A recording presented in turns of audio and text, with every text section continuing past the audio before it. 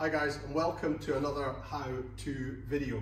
Today we're going to be doing a how-to video on how to sync uh, a Bluetooth phone to an Audi. In this instance it's an Audi Q3 um, from 2016 uh, but this will equally apply to a lot of Audi models from the, the sort of the, the, this, this kind of a period. If you look in the link in the description you'll hopefully find some more information on the other models that will apply to.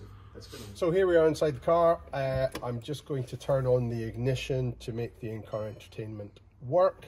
Uh, first thing I'm going to do is I'm going to go to the tell button there and then you can see up on the screen here it is saying search for new mobile phone which I will use the selector here to select that and then it's telling me to please check that my Bluetooth is turned on on my phone, which I'm just doing just now to confirm that it is.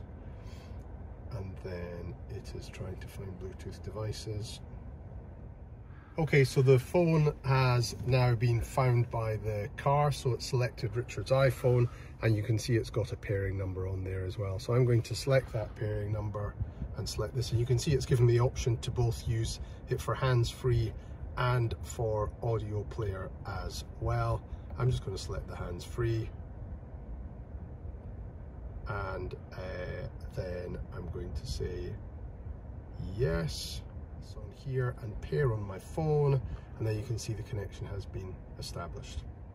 Thanks for taking the time to watch this video. If you're looking to find out how to connect Bluetooth to our BMW 3 Series, please click on the link in the description above.